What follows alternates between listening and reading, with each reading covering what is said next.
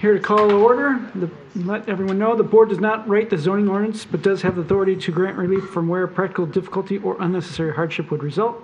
The board will vote on each agenda item oh, following a public hearing. Use variance requests require a minimum of six affirmative votes in order to grant the requested variances. Non-use variance request a minimum of five affirmative votes in order to grant the variances. If you would like to request the board table or adjourn your case due to the absence of a full board, you must inform the chairperson immediately after the public hearing. Petitioners shall do their best to limit presentations to 10 minutes. Each participant in a public hearing shall do their best to limit comments to three minutes. And looks like we have a full board today, so that's good. Uh, So first thing is uh, approval of minutes for February 9th, 2023. Is there any uh, motion or comments regarding those minutes? Ms. Zuger, I'll move to approve the minutes. is there a second? Second. Uh, everyone at the same time, so whoever wants it. We'll just say, uh, mm, Not me. I actually have a question about I'll go, I'll- I'll you take have a question about them? Yeah. but the- Go ahead, no, no, questions first about the. Okay, yeah, I'm just, I'm reading the minutes and it says that we moved, uh, that the appeal, um, of this to permit, it does, oh, I see, okay, never mind, I take it back. I, I see the postponed at the end. All right.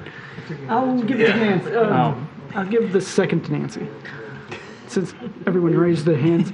Um, Nancy won, Nancy won. All tho- uh, all those in favor of of, uh, approving the minutes, say aye. Aye. Opposed? All right, motion carries unanimously.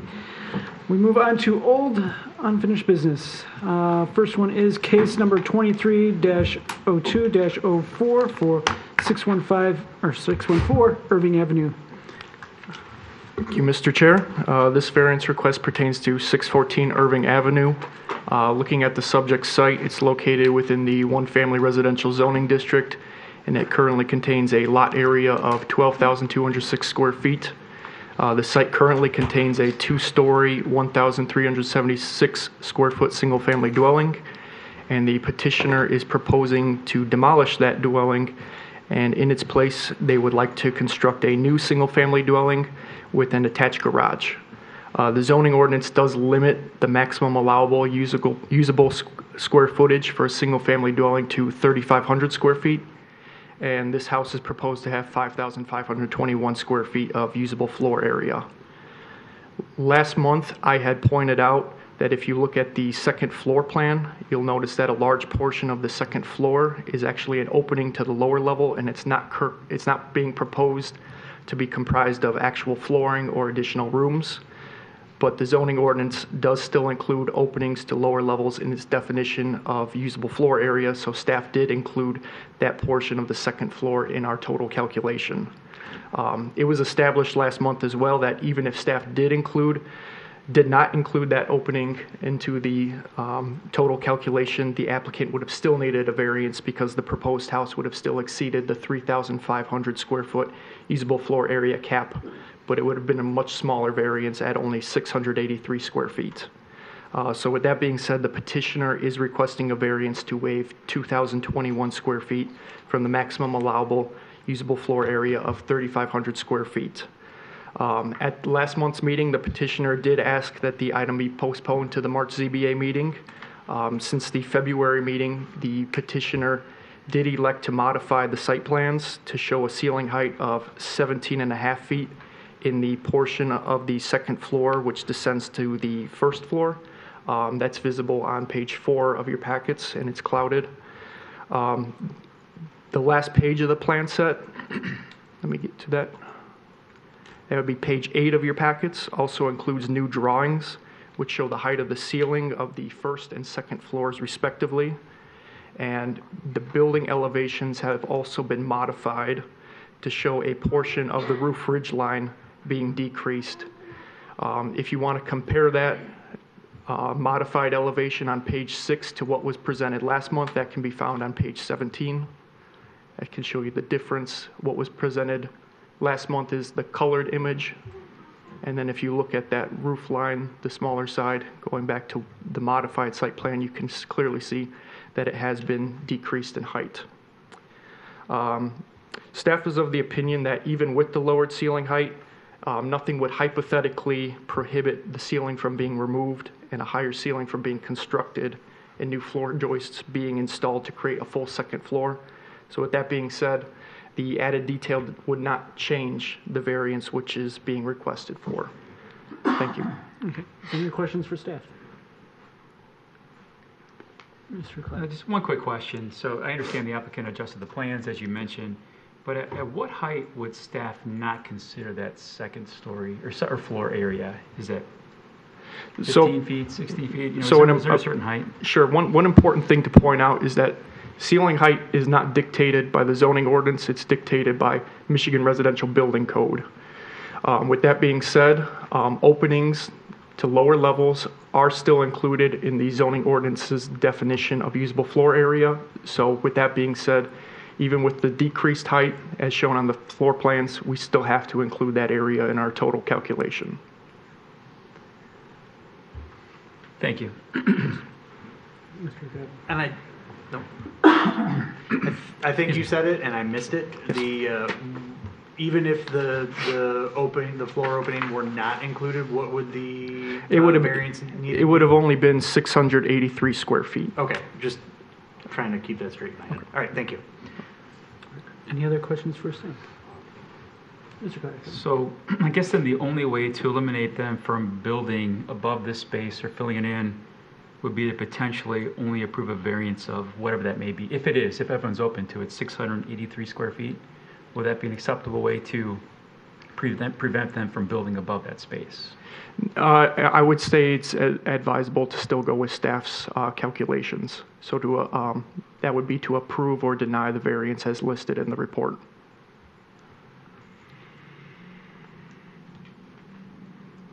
Additional questions for staff? Mr. Evans?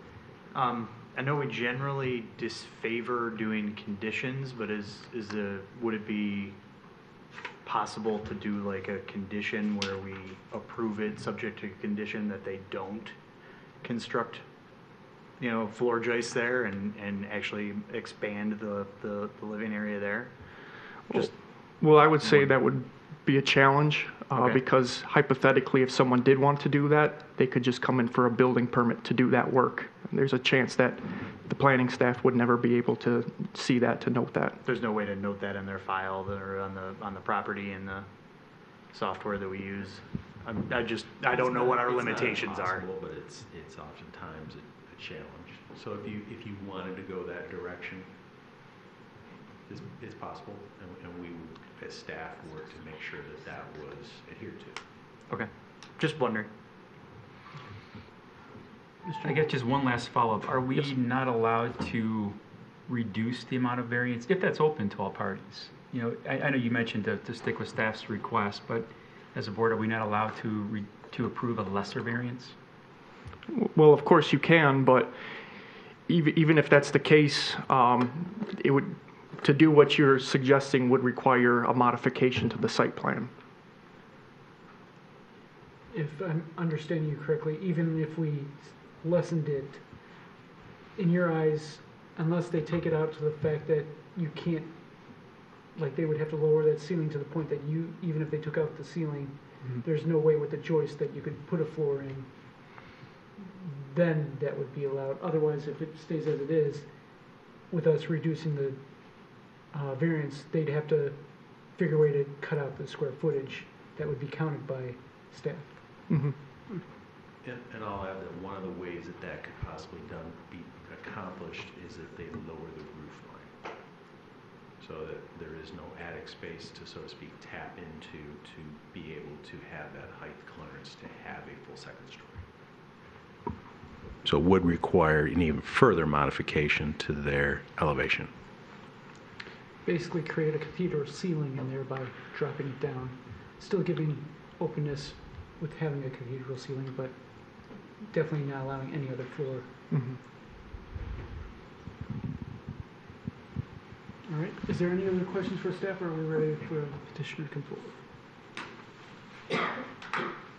All right, seeing none, petitioner may come forward and uh, represent your case and your updates. Good evening again. Uh, My name is John Jacoupy, the designer, and this is Ben Schomer, the homeowner. Uh, Before I go on, uh, I want to address an issue regarding the ceiling height. In Michigan, the planner is correct, it's dictated by Michigan uh, Residential Building Code, and that height is six feet eight inches. You cannot have any ceiling less than six eight and be considered a living space. So with that in mind, we have a 10-foot first floor ceiling, and we're uh, designing it with a one-foot floor structure, so that would take us to 11. And the reason I spec 17.6 as the height of that grand space, if we call it, that would be six feet six inches, which would then preclude anybody from adding a second floor and doing a legitimate second floor. Now, the issue arose that, what about in the attic space? Well, those are going to be uh, pre-engineered wood trusses, and that's kind of a, I mean, it's not impossible, but it's kind of a big deal to modify those trusses. You'd have to get an engineer to modify the, or the truss company. The building department would be aware of that, and I'm sure planning would have some say in that.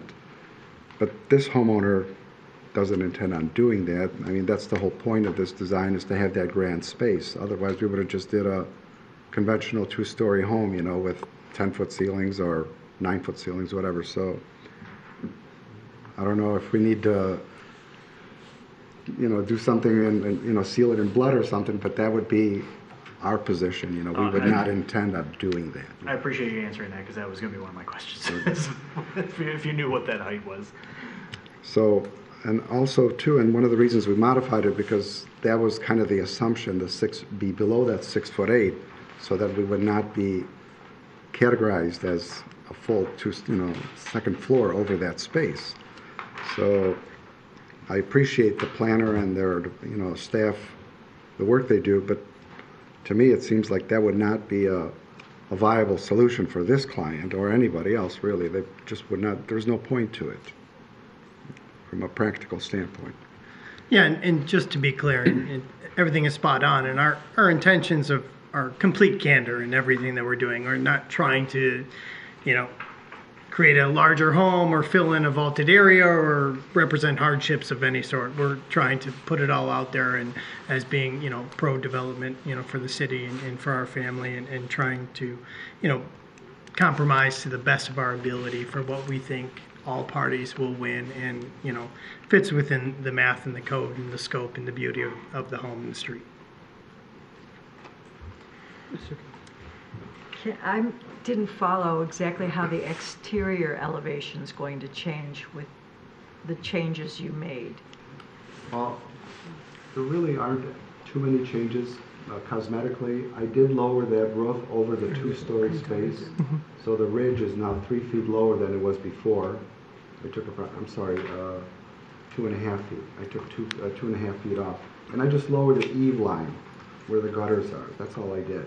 It didn't change the look of the house tremendously, other than if you look at the front elevation, the left side of the roof will be lower than the right side. Substantially lower than it was before. Two and a half feet Correct. approximately. Now, if there's a number that the planning department is suggesting that would preclude anybody from doing a two-story space, you know, we'd welcome that and, you know, we'd, we would address that as a condition of approval. You know, We would accept that. Are your, uh, I should ask, what's the elevation of the bottom of the trusses that are planned for that space? Because that would pretty much dictate it. If it's at six foot eight, then it's basically ensuring you can't. It's six-six. So if Well, I know the you, ceiling's six six, but the trusses are right above that ceiling? correct. Okay, so then that's basically six seven, worst case.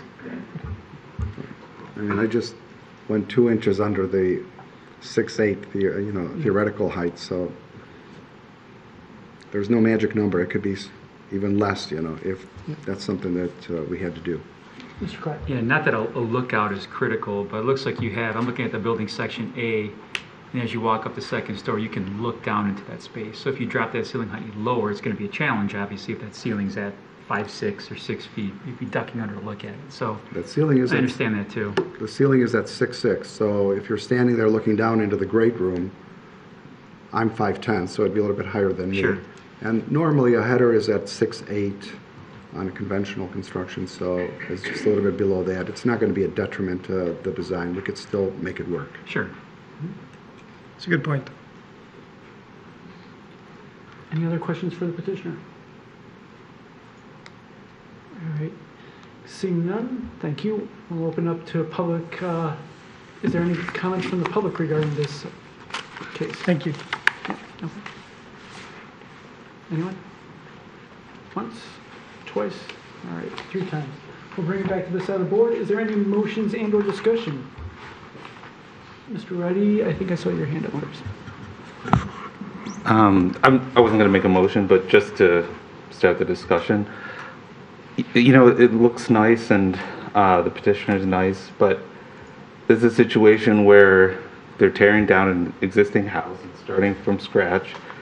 And there doesn't seem to be any reason not to build a house that fits the code, uh, that exists when they bought the house. So, I'm looking at it and I don't see a way to say, you know, I, I asked the petitioner last month, what's the practical difficulty or hardship here?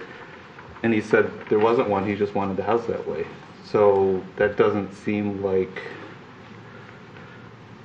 something that we should be doing. And then, you know, if I consider the justice to the neighborhood, they're gonna have to take down those trees to the south and it's gonna be a wide house on that street. So I'm having those reservations. So I just want to put that out there. Ms. Well, along the same lines, I don't know what the original intent of the zoning ordinance is, but I don't think they cared about how many square feet were actually inside that were usable as opposed to how big a structure you're looking at in the neighborhood. And that's what I'm concerned about. It's so much bigger than every other structure. Um, and because it has the 3,500 square feet, the 5,500 square feet capability, it's going to look bigger than all the other houses. And that's my concern, that it won't fit in the neighborhood and it won't do justice to the neighborhood. Mr. Moore? Yeah, I'm looking at the requirements for a non-use variance, and I'm, I'm struggling to um, see that they have met letter D, which is the alleged hardship has not been created by any person presently having an interest in the property. Uh, My understanding from watching the last meeting was that they bought this property with the house that is there, and they have an ownership in that property, and, you know, I'm struggling with letter D, so. Yes, I, I won't be in support of this motion. I, I don't see this as a 5,000 square foot house. I mean, I, I, Well, there's no motion right now, there's just discussion. well, anyways, I won't be in support of, of that. Um, I don't see it as a 5,000 square foot house. I, I, I take the applicant at their word for this, for the, for the area. And in, in many cases, we have granted approval for homes that are less than 30% of lot coverage, and they have, they do have that. They're less than 30% here. Does Anyone have a motion one way or another on this variance? Before there's a motion on it, perhaps Mr. Zaborski, perhaps he can refresh the board's memory as to, even if we re- discount or remove that open area that we're referring to, even if we remove that, if it still needs a variance from the 3,500 square feet, so you're, you have an understanding uh, as to if we remove that area, whether it still requires a variance and whether you, you, sh- you should keep that in mind as you uh, make a, make a motion and head towards a deliberation. Thank you, Ms. And and what is that, if we take away that calculation, what is the square footage of the floor you can actually walk on? Uh, Would that be on the second floor?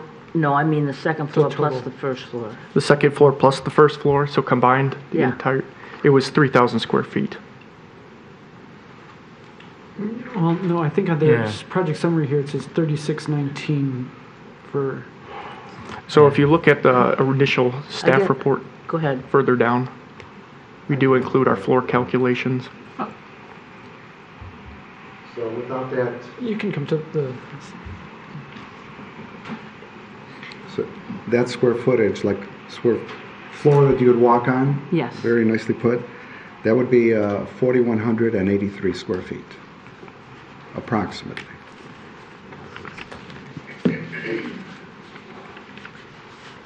So, Oh, Nancy, go ahead. so we're like that 600, is that that 683 square feet that we're Correct. talking on to the That would be 35? above and beyond the Beyond the 3,500 floor Okay, that you can walk That's what I on. was looking, it's how an appraiser would look at it.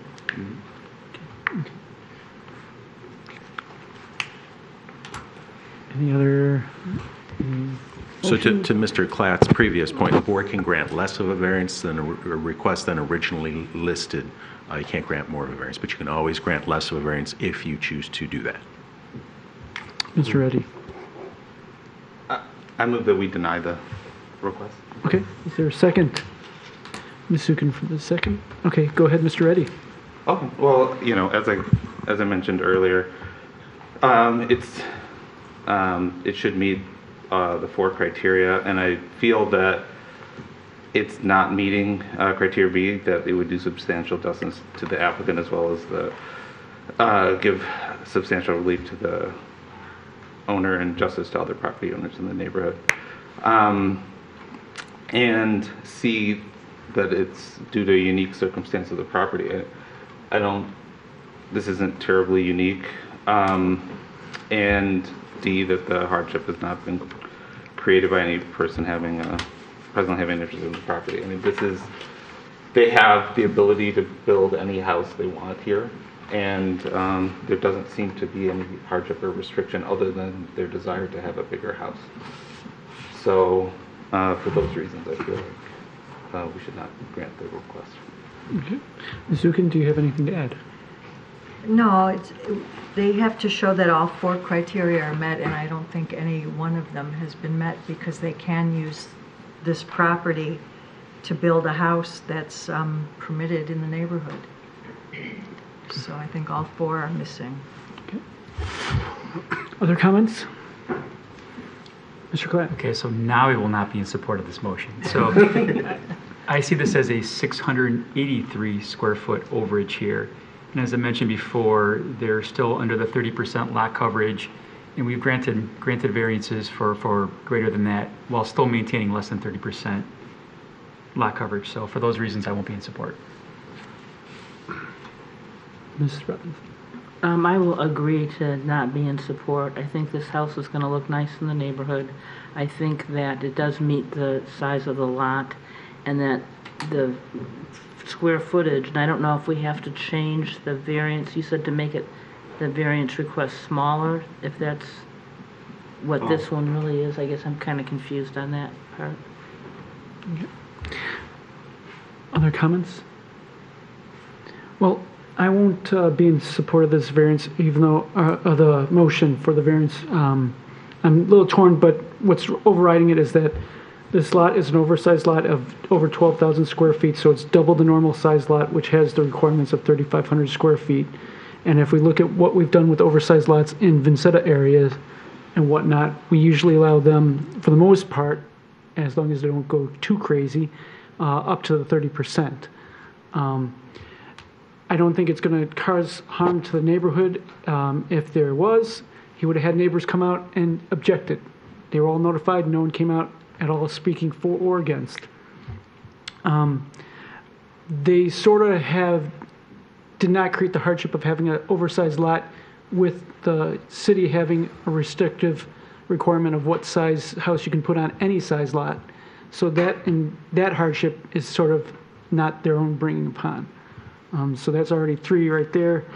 Um, and like I said, the plight of the landowner is due to the unique circumstances of it being a double-sized lot. So because of that, I see they have the opportunity to meet all the hardships as they request to get this. And they've lowered down the ceiling to try and, I, bet if they would have drew in that section with the framing and show the framing was right above that six foot six, it would have then not been counted by staff and we would have been down to just 683 square feet for the overage. Um, But because it wasn't drawn in there, there's no way for staff to not say, hey, you can't do that. So I can understand that point. So because of all those, I'm not in favor of this motion. Any other comments? No? Okay, we'll move to vote. Please raise your hand. Signify by saying aye if you're uh, in favor of this motion to deny the variance. Aye. Okay. Opposed? Nay? Nay. Okay. Motion fails. Uh, Is there a motion in the opposite direction? And with the, Mr. Gavin? Any So moved. stipulation? No, so moved. Okay. Is there a second, Mr. Clapp? I'll second.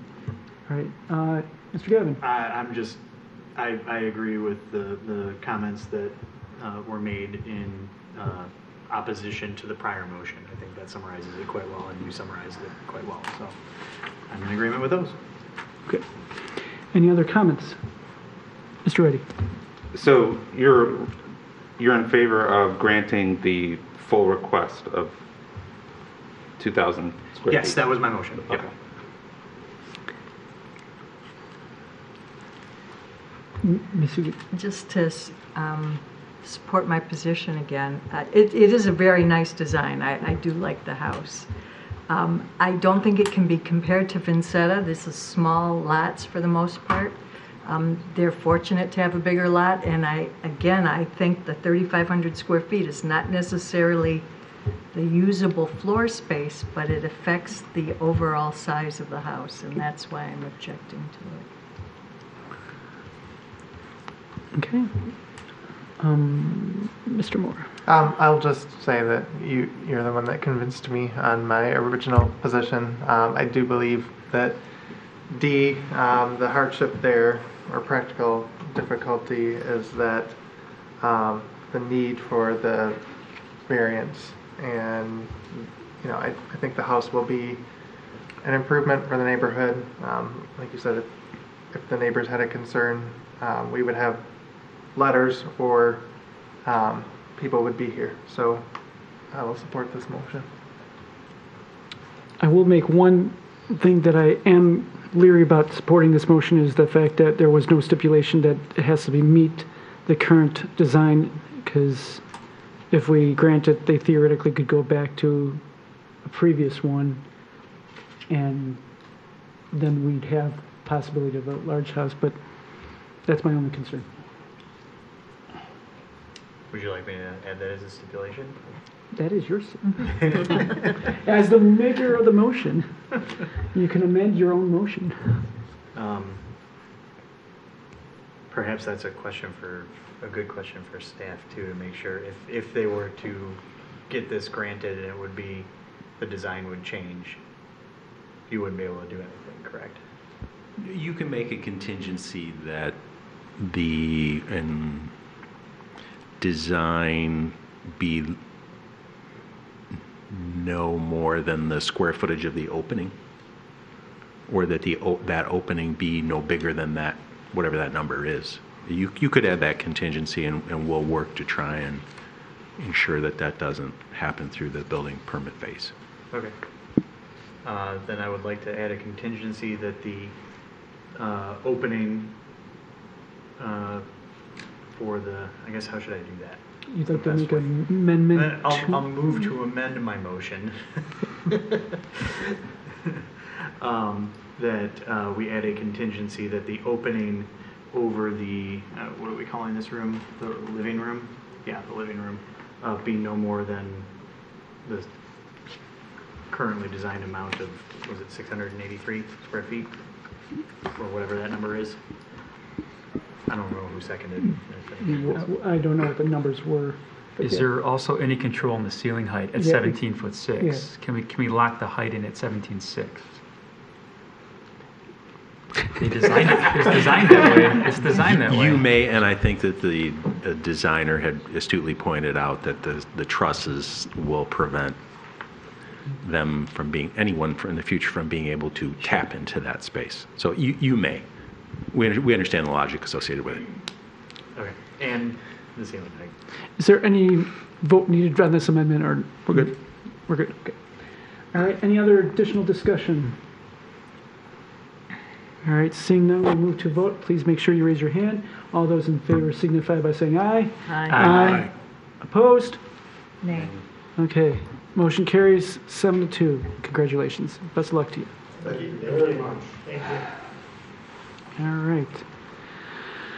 Next case, number 23-02-05, 1629 North Washington Avenue.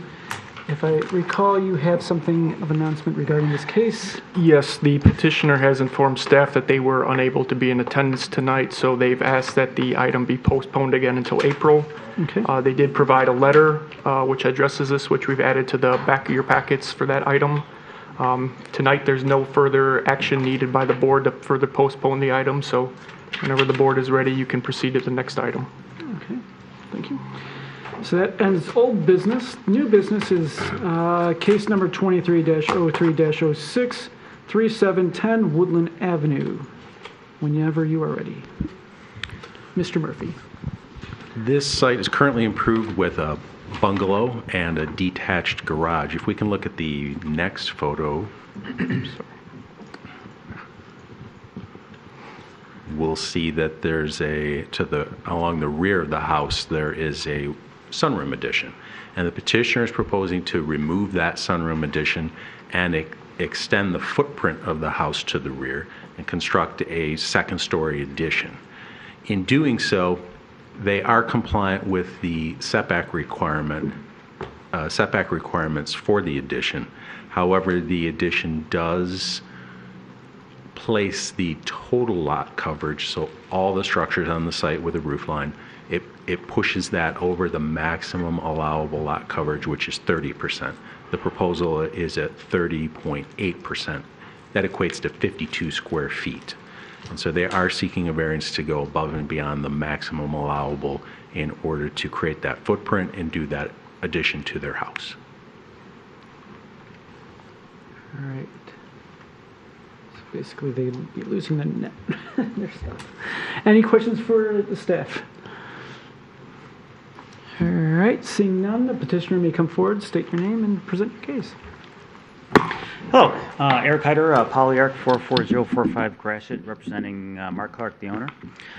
Uh, As uh, Mr. Murphy has uh, stated, uh, it's an existing two-story, or excuse me, a two-bedroom bungalow uh, with a uh, sunroom uh, that's kind of like not heated, so we want to remove that and add an addition.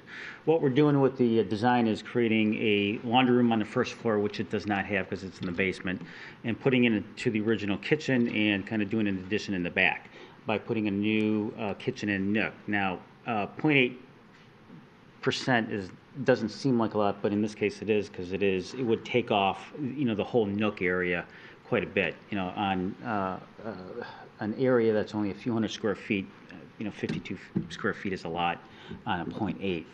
Uh, so even though it's two stories, because we're creating a third bedroom, uh, above that, but we meet all the other requirements, so. Questions, Mr. Clark? Did you talk to your neighbors by any chance, or share the plans with your neighbors, any support? This is Mark Clark, Yeah, the owner. I own the property, been there for seven years. I've talked to, every one of my neighbors are in support that I have conversation with. I have a new neighbor, I don't know them. They are the ones immediately adjacent to me and probably during construction would be the only time that would hinder anybody's, uh, comfort level. Thank you. Any questions for the petitioner? Another question. Mr. Reddy?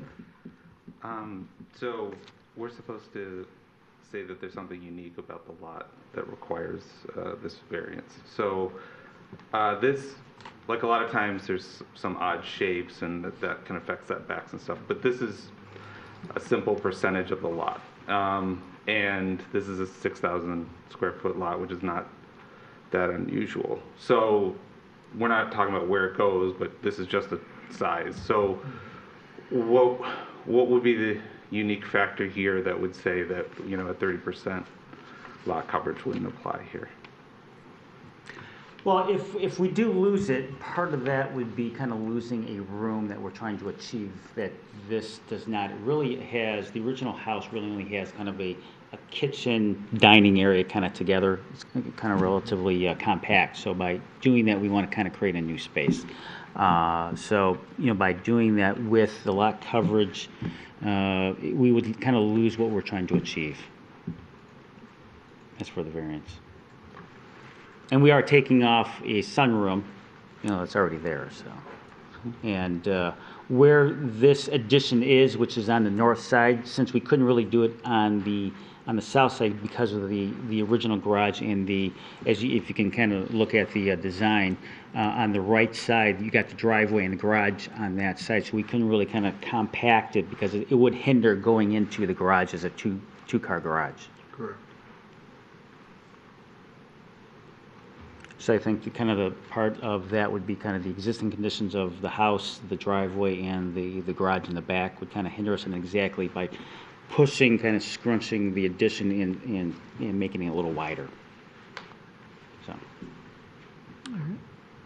Other questions for the petitioner?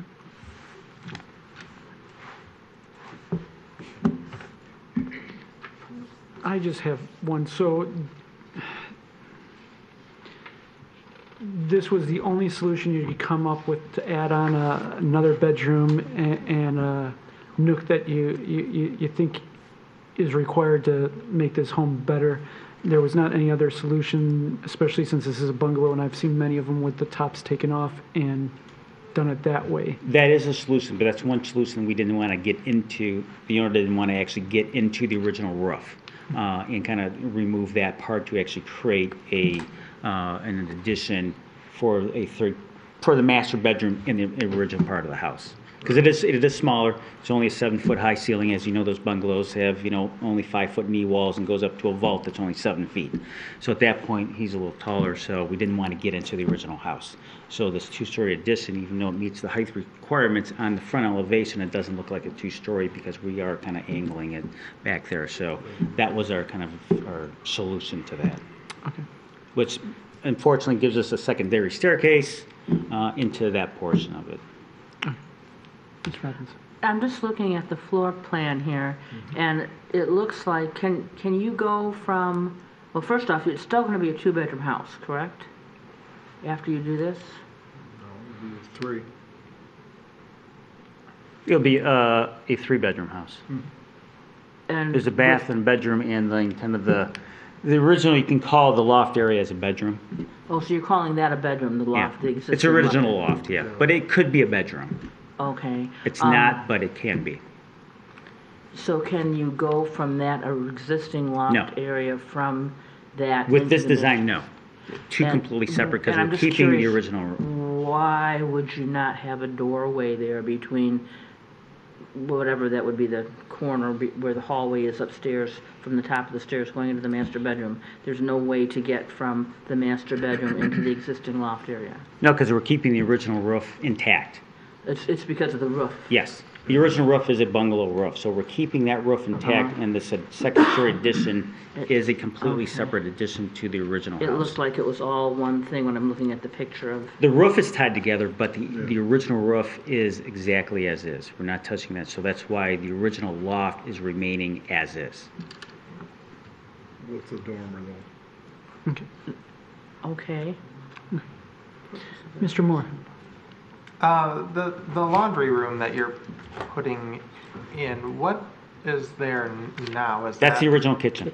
So that's the original, Yeah, okay, got so it. you got on the, on the right side, you I have the understand. side door that goes into the basement and to the upstairs loft with the driveway, so that original kitchen, since there's plumbing, is going to be the new laundry room. And so now there's just gonna be the access into the back, which is the kitchen nook area. So part of this is moving the kitchen to the addition to Create a, a first story laundry. Laundry, which I'm guessing is probably something that is in the basement now? It is in the basement. Are we In the basement, it's only- Going up and down steps? I'm, I'm trying to understand the, the maybe practical difficulty here. Well, the So- practical diff, you know, the, the basement's only a, kind of a Michigan basement, six foot eight. Uh, it's a little tough to get in there. So, you know, bring it upstairs on the first level. So most of the, uh, utilities now would be first level, uh, first floor laundry room, you know, bathroom, kitchen, nook. Okay, So- so that's part of the thing, is Yeah. relocating the kitchen to Yes, accommodate. and that staircase, of course, you know, those bungalows are it- very narrow, Understand. smart, and so not Okay. convenient. I was So, just trying yep. to understand the, the practical difficulty, and that's one of the issues I was seeing here, so. great. Any other questions for the petitioner? No? All right, thank you very much. Thank you. Is there anyone here from the public to speak for or against this uh, case? You may come forward. S- State your name. I don't keep things brief. Uh, so my, I'm, my name is Zane Dufour. I don't know if I need to give all the information like we do at city commission meetings. I don't have any personal stake in this project, um, uh, and I understand that uh, you are restricted uh, legally in terms of the actions you can take. But it does seem a little bit silly to me not to approve this. Um, it doesn't seem like that major of uh, like visual impact on on the neighborhood to, to approve something like this. Uh, but frankly, I'm kind of biased because I think a lot of these roads are sort of silly. Um, so that's all I had to say. Thank you so much. Yep. Anyone else? Going once, twice? All right, we'll close public and move it back to this side for motions and or, discussion and or motions. Anyone? I saw Mr. Gavin's hand up first. I move approval as presented. Okay, is there, Mr. Klatz, the 2nd support. Oh, He can have it. all right. Sorry. Mr. Gavin, Um, yeah, it, it's it's it's a as the the audience member noted, it's a relatively small ask. Um, the lot size is fairly typical, uh, you know, but it is kind of tight to deal with, you know, those longer, narrower lots.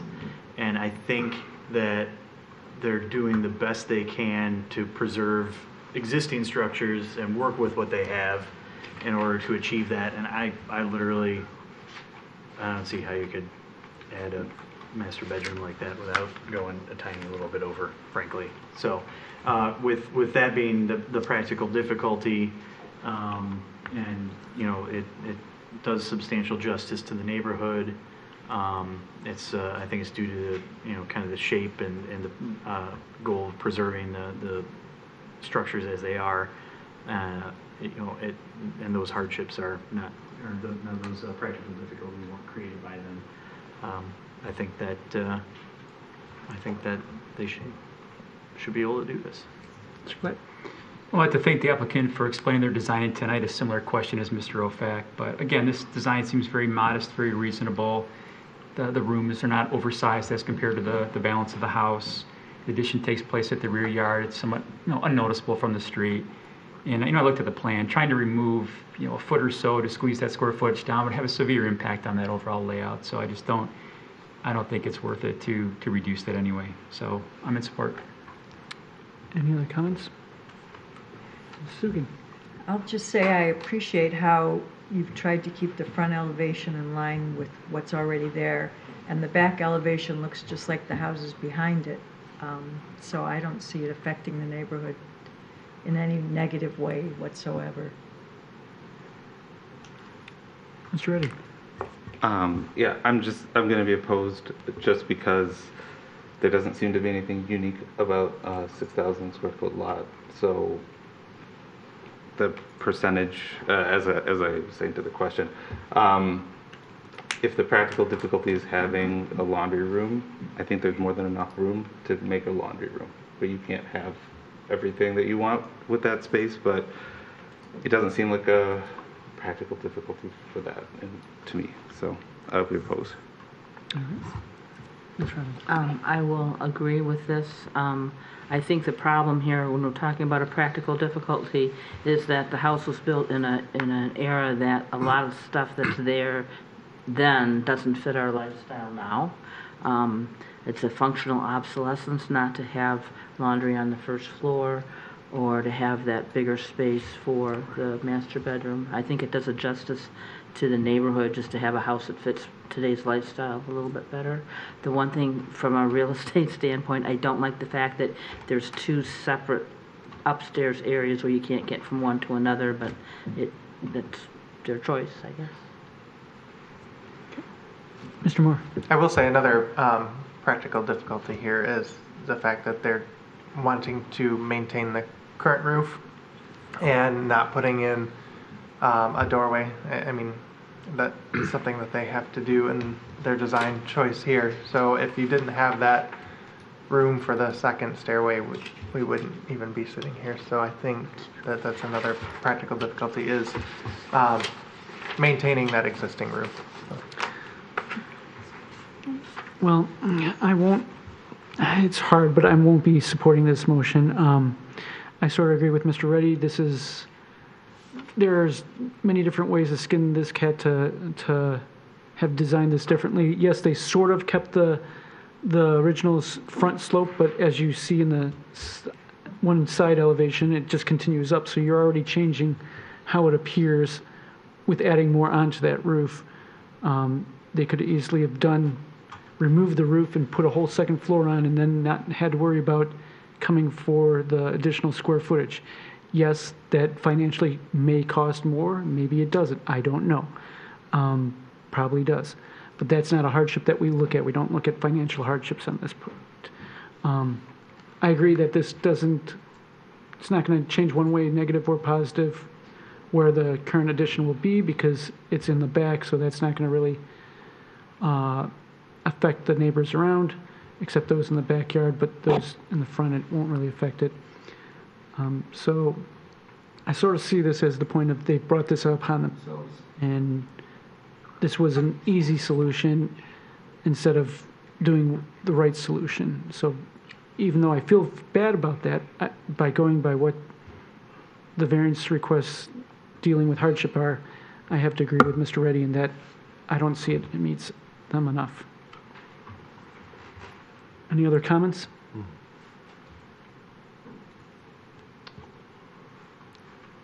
All right, seeing none, we'll move to a vote. All those in favor signify by saying aye and raise your hand. Aye. Okay, opposed? Nay? Nay. Okay, motion carries. Six to three, congratulations, best luck. to you.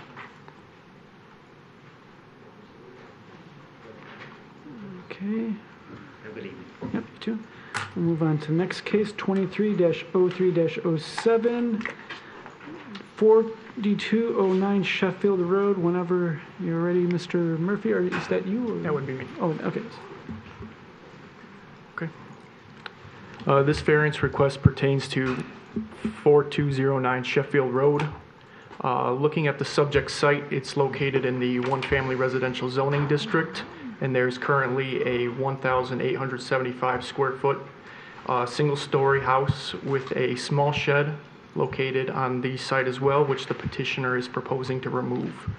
Uh, The lot size itself is 16,766.05 square feet. Um, This parcel's different in the way that it's both a corner lot and a through lot. And by a through lot, that means that it has frontage on two parallel streets. So Amherst to the south and Sheffield to the north. Uh, What the petitioner is looking to do is uh, to construct a detached garage on the west side of the property on top of the existing driveway, which is there. Uh, The zoning ordinance states that if there is a through lot which has frontage on two parallel streets, and there are also other houses or structures which are, lo- which front onto those said streets, then the minimum required front yard setback shall be applied to both sides. So staff did apply a minimum front yard setback of 25 feet to both the north and the south sides of the property. Uh, The proposed garage is going to have a setback of just 19 feet from the south lot line, so the petitioner is first seeking a variance for six feet from the minimum 25-foot south setback along Amherst Road. Uh, The zoning ordinance also does limit the ground floor area of accessory structures to not exceed 10% of total lot coverage, nor can it exceed 800 square feet. Uh, This proposed garage is only going to be 5% of the total lot coverage, but it will be 840 square feet of ground area. So the petitioner is seeking a second variance to waive 40 square feet from the maximum allowable 800 square foot ground area for accessory structures. Uh, The third thing is that the height of the proposed garage is going to be 16.8 feet, and that's measured at the highest midpoint between the peak and the eaves, which is exactly how the zoning ordinance defines how height is measured on accessory structures. Um, Branching onto that, the zoning ordinance does limit the maximum height of accessory structures to 15 feet, so the petitioner is seeking a third variance to waive 1.8 feet from the maximum allowable height of 15 feet. A few other things I would want to point out to the board, um, just for their knowledge, is that the petitioner has shown on their floor plans that the garage will be serviced by electricity. Um, It will not be serviced by water, sewer, or heating, which is shown on their floor plans. And the garage itself, as well as the little attic space above, will just be used for storage as noted as well on the floor plans. So it won't be used as a habitable space. Thank you. Questions? Mr. Yeah, The, the site plan information is a little bit vague. Is there an overall lot coverage indicated here? I didn't see that with all Uh, the structures and the shed. So overall lot coverage, we calculated to be just 16.2%. Oh, thank you. Yes. And then is there a separate, a distance between the two structures, the house and the garage? You know, other than the, a potential building code issue of fire separation, is there any uh, zoning issue? I don't, I can't see, a- I don't see a dimension here, how far those two are apart. Yes, so in, in the context of the zoning ordinance, there is no current language which Okay. dictates wh- the distance between the primary structure and the accessory structure. Thank you. Any other questions? I have a quick question for you. Sure. Had that garage been attached, would they only be in front of us for the six feet? Uh, So if the garage was attached, they would also hypothetically need the variance for the setback, but then also keep in mind it's proposed to be 840 square feet, so they would still be exceeding the, the cap for accessory structures, so they would Well, if also. it was attached, it wouldn't be an accessory structure, it would be part of the. So in, in the zoning ordinance, we consider both attached and detached garages to be accessory structures. My mistake, then. Okay, all right.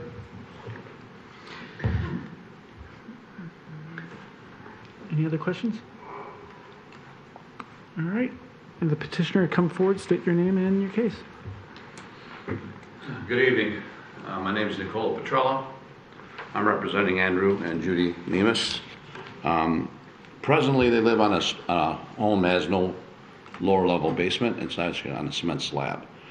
It appears, as I talked to Alex previously, there was a petition or a variance uh, request many moons ago about splitting the property, not necessarily about an accessory buil- uh, building.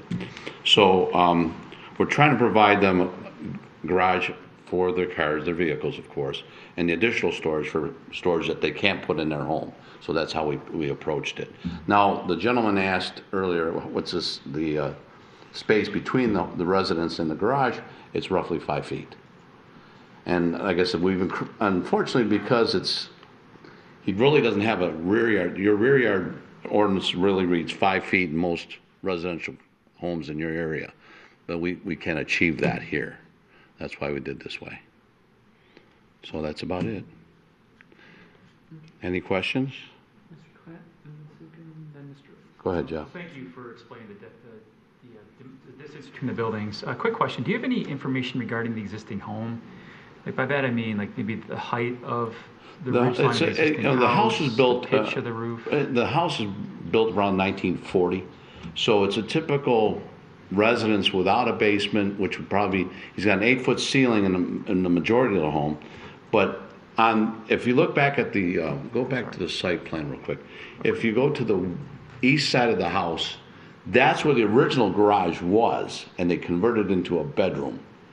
And that's one of the, and because they put a, they split the property and, and put a residence on the east side.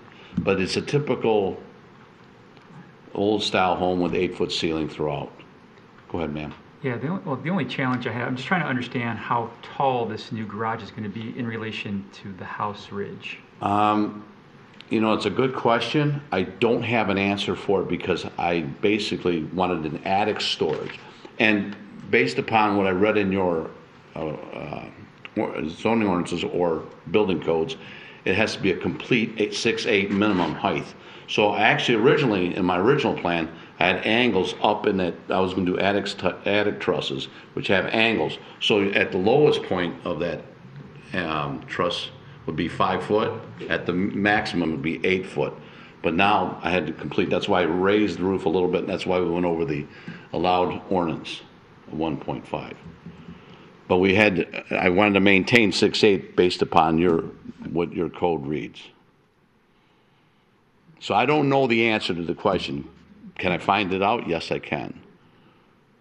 Unfortunately, you'd have to find out tonight. Well, I mean, I mean, the, what's the, the debate on that? Is it because of the appearance of the garage? Yeah, mainly, mainly aesthetics. I mean, even, I'm just, is it, is it gonna be much, it's all very long. No, it's not gonna be higher because it's not quite two stories at that point. I think the, I went with a seven, I think a seven, uh, uh, I'm sorry, eight twelve pitch is what my pitch is. Does that pitch match the house pitch? I think the gonna pitch on the house is probably old style, a five twelve. Yeah, that's just my, you're gonna have two different pitches in this. I know this is not an aesthetics uh, conversation here, but just, I'm just concerned about the aesthetics of those two structures next to I each other. I think, well, the, the way we use the materials is gonna make the difference on aesthetics. I think the height differential, if there is, if there is, is not gonna be as noticeable based upon how we finish the exterior. It, the, the appearance of what I'm gonna use, like I said, I'm gonna go basically along the perimeter, lower perimeter, I'll use a, uh, cultured stone to keep any soft materials off grade. And then build grade off of that going up with either a lap siding, LP siding, or what they call Everlast siding, which is a very, it's a composite material. Presently, he has a brick structure. It's painted brick. But aesthetically, it's gonna look beautiful. I'll tell you that much. Yeah, it's just hard for me to understand that, because one of our charges is to make sure it doesn't negatively impact the neighborhoods. And And I I, have no you- clue, I you'll be can't tell surprised what- it will not because I've done a couple of custom garages like this. It's not gonna be a typical garage looking thing. It's gonna tie in nicely with the house. I did a couple last year that really turned out, you know, n- really nice. Even though the garage was a little higher than the gar, the house itself, it still appeared to be very nicely done. I'm, I'm sure it is, and I'd love to take your word for it, but it'd be great to see a diagram that shows this garage Okay, in so context with the. that part of it, if that's gonna be a, uh, uh, essence of a debate, I don't have the right answer. I wish I did. I just based it on what Alex had told me, my, my height restriction. I didn't even think about the house situation versus the garage situation, because I was told a certain height, that was it. Understand, thank you. Any other questions? In in the house, you said it's your house, right? It's my house. Is that an attic space up there? Or is it just all frame above that first floor? Yes, there is an attic. It's not uh, usable. It's just insulation and a Is it, furnace. And, uh, well, in the attic, when you stand up, are you able to stand up all the way or do you have to bend down if you're in the center portion? um, yeah, I gotta bend down. Okay. So I was gonna say, if you, if you can stand up, then that means that ridge line is definitely over 15 feet. Because just looking at the side profile with this one image with the truck, the SUV, if I just do the old trick of, hey, I bring what I know is the height of that ridge line is probably six, eight, or seven feet right at those windows, you double that add up straight, and it's almost 50, it's gonna be darn close. Close. Close. Yeah, I know. You and I both want exactness. I agree with you. Um, Ms. Robinson. No, I was just gonna say, part, I think part of the inside of the house has like a cathedral ceiling or something, am I right? Not, no, actually inside the, it's a- mostly a flat ceiling, but in the kitchen area, or I'll call it the living area, it steps up, like there's like a little area that goes up like this and down. It's like a shedded roof inside that area. So that kind of takes space away from any attic area? No, it, there's no attic there, it's just, it's like some sky, skylights, right? Yeah. There's some Okay. skylights and Okay. But that's what I'm saying, is that it's, there really- it's kind there of was no a attic goofy area look, I, I probably, I mean, it's a nice neighborhood, nice house, but some different things that we've never seen, like, uh, it's on a cement slab. This is the whole reason why this storage is, we're trying to bring more storage into the home, because there's no place to put anything. Originally, it was a, basically a two-bedroom home, and they made it a three-bedroom home when they got rid of the garage and they split the property. And that shed is gonna go away, because the shed is, is, it doesn't, has no use. Go ahead, Nick. Ms. Deborah. Sukin. So if you lowered the roof line by the 1.8 feet, you're saying you wouldn't have any Well, room the- I for could do, still do storage? the attic storage, but I try to achieve what the code reads, because any area that you have, that's supposed to be uh, available for use has to be six foot eight minimum, the ceiling height. So I took the angles out, the original plan had, I had an attic truss which had angles coming down and then falling down to the floor line of the attic. And at the point, at the low point, it was five feet.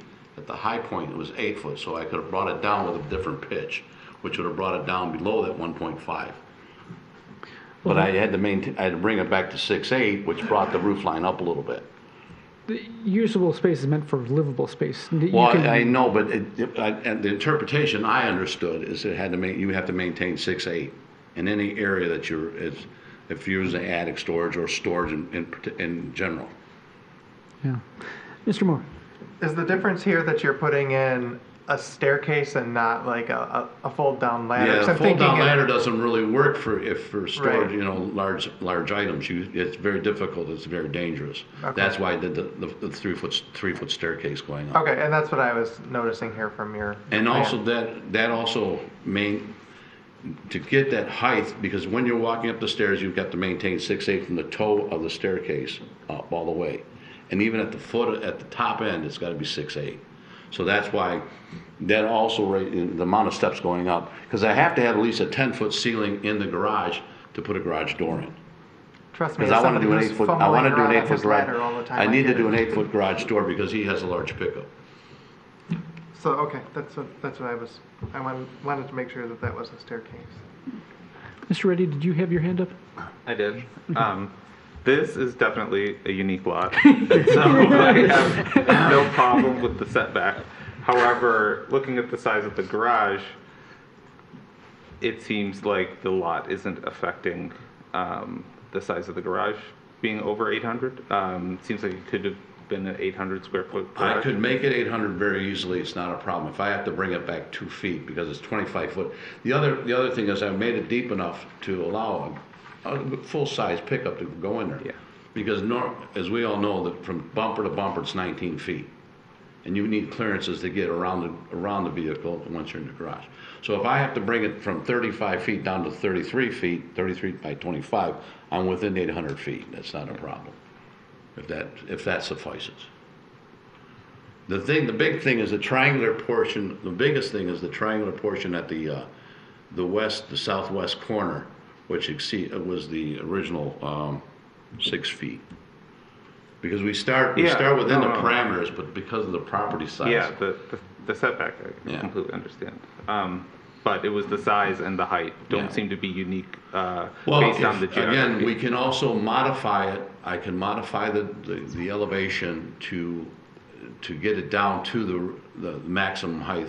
And working with, uh, with the roof plan, I'd have to do that. As long as I'm allowed to not have to maintain a full six eight across the whole parameter of that uh, attic storage. Okay? If that's, all if that, if that works with the city uh, uh, requirements. Because I got, like I said, it was a six eight, I thought it was, had to be completely six eight all the way across, minimum. Deborah? Uh, Well, can staff confirm whether that six eight is required? Um, so with, again, within the context of the zoning ordinance, um, the, the ceiling height would be dictated under building code. It wouldn't be under the zoning ordinance. So we wouldn't have a necessarily a requirement for that. But of course, when he goes for building permits, he still would have to meet the building, what the building code requires.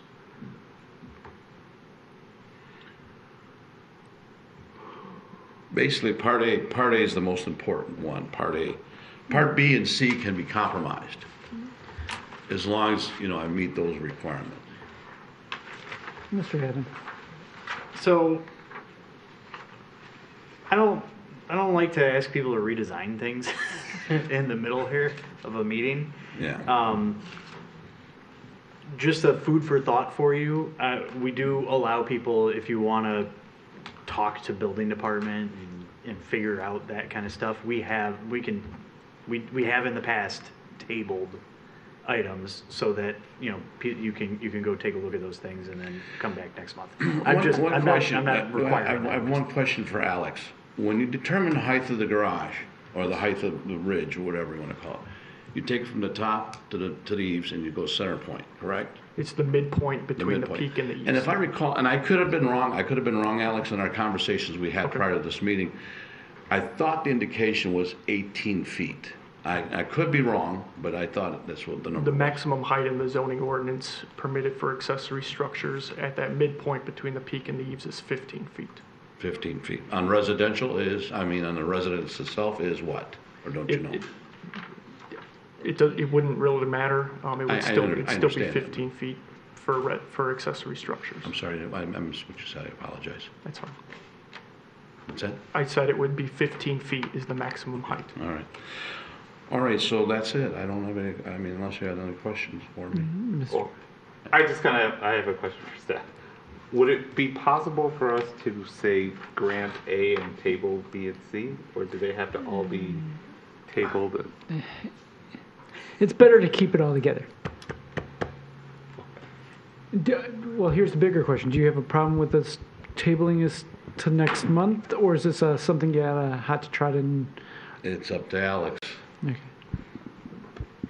I would mean, suggest Andrew, that I'm the sorry. board I'm hold the calling public Alex hearing. Andrew. What- what'd you No, say? I would suggest the board hold the public hearing. The petitioner can Right, have a right, seat. right, right, right. Yeah, We'll yeah. let you think about that.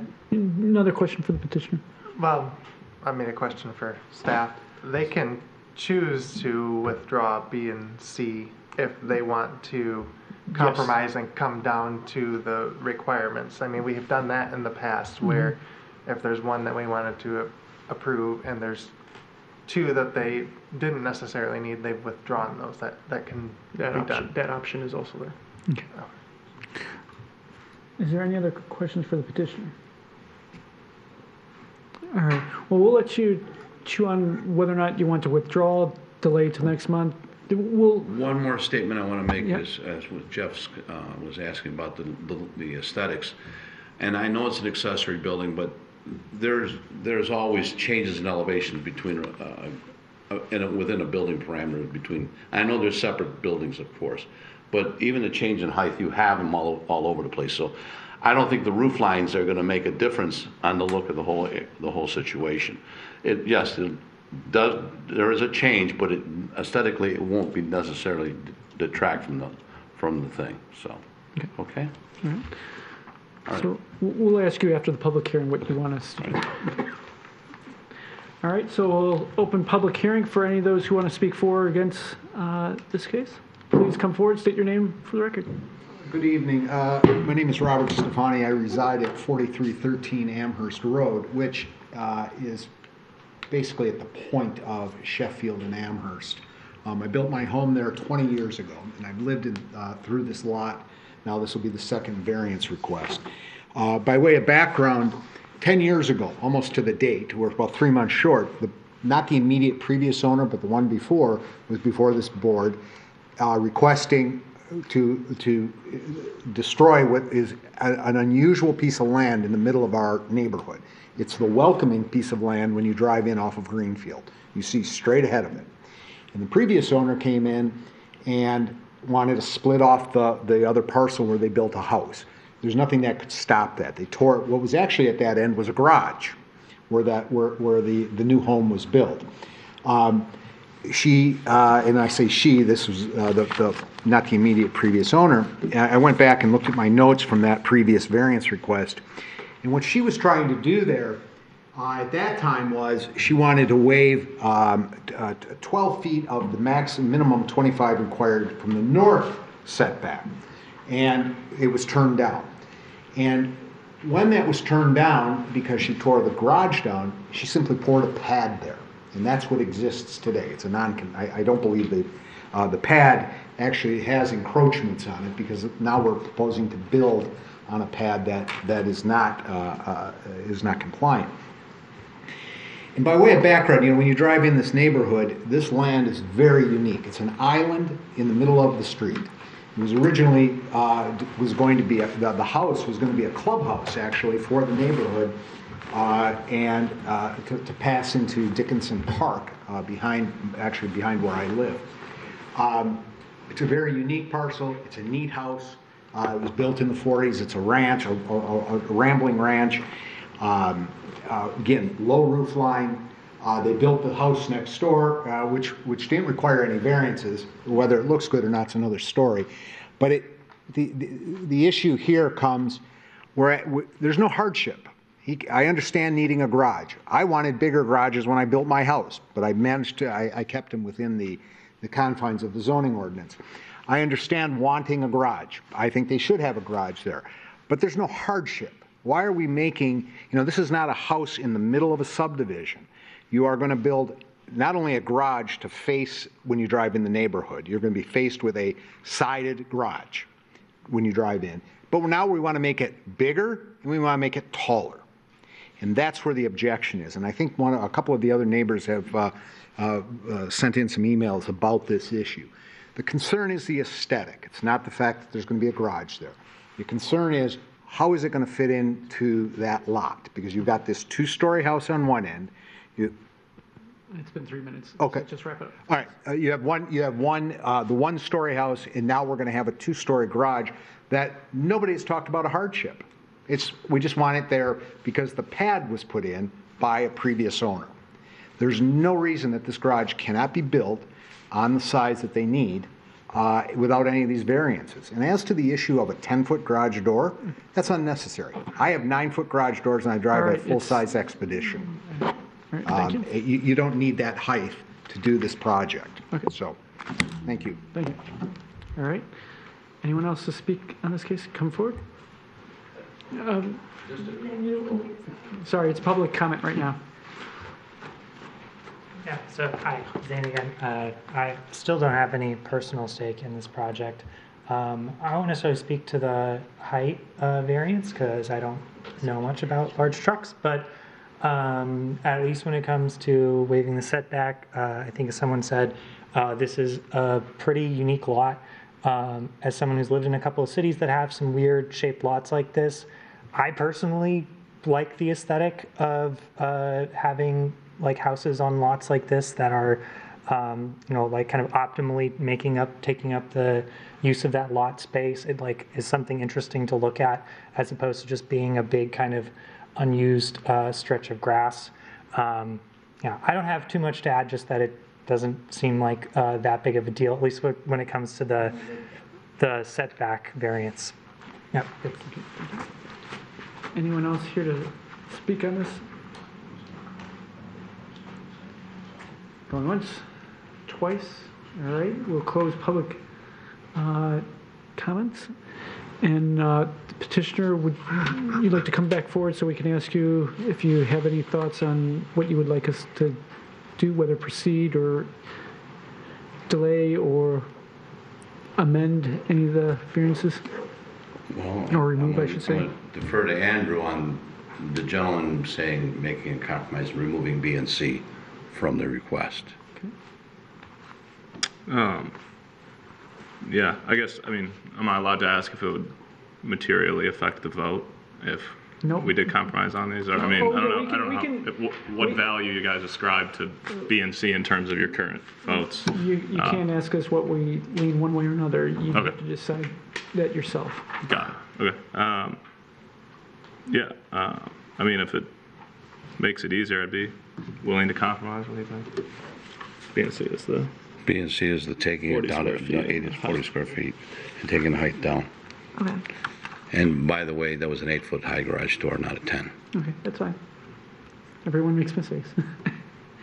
um, so, from what I'm hearing, you want us to remove B and C from the variance request and just want to go for A. Yes. All right. Uh, staff will amend that, and then in which case, then we will proceed to discuss Amendment A uh, for the var- or variance A for your case and vote on it. Then. Okay. Thank you. Okay. thanks. Uh, discussion and or motions. Mr. Clapp. I'll make a motion to approve item A. Okay, is there a second? Mr. Gavin? Uh, sorry. I- You don't look this way. Well, I well, I saw his hand go the same time. Fine, I'm going to give it to Mr. Moore, just because he, he fought, he fought for it. I'll give it to him. And Mr. Clash? Well, I think this is a lot that has true practical difficulty due to the shape, as was already discussed. So therefore, relief from, from this would definitely help. So I'm, I'm gonna, I'm okay with that, with that request for that setback reduction. All right. Mr. Moore? Oh, no, I, I think that was a good compromise. Any other discussion points for this? Anyone? All right, I am, although hesitantly, I will be in supporting of this because I, I agree, this is a very unique lot. I understand the concerns of the neighbor across the street, with how uh, this can affect, but possibly having the height removed here, this will cause it to be less high of a uh, object. It's going to be in the spot where the pad is right now, and what looks like you're looking at a side of a house, you'll be looking at the side of a garage, which many times you see in other corner lots throughout the whole city.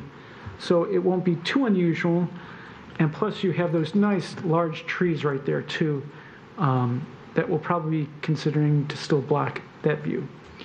Um, so because of that, I, I, I- I'm not as concerned. Any other discussion? All right, we will move to vote. All those in favor signify by saying aye and raise your hand. Aye. Opposed? All right, motion carries unanimously. Congratulations, good luck with your garage. All right, other business, is there any other business? Oh, Chris, we don't know. I would just like to give a friendly this is reminder what to you're those board members that signed up. Um, Next Tuesday, March 14th, is the Advanced ZBA training offered through the Michigan Association of Planning. Thank you. All right. Uh, General public comment, is there any general public comment? Once, twice, three time, okay, none. Uh, Then who wants the mystery motion? I will look to this side and ignore this side at all. Anyone? Mr. Moore, Motion to adjourn. is there a second? Mr. Reddy? All those in favor signify by saying aye. Aye. Opposed? All right, we're done. It's nice of you to remember us.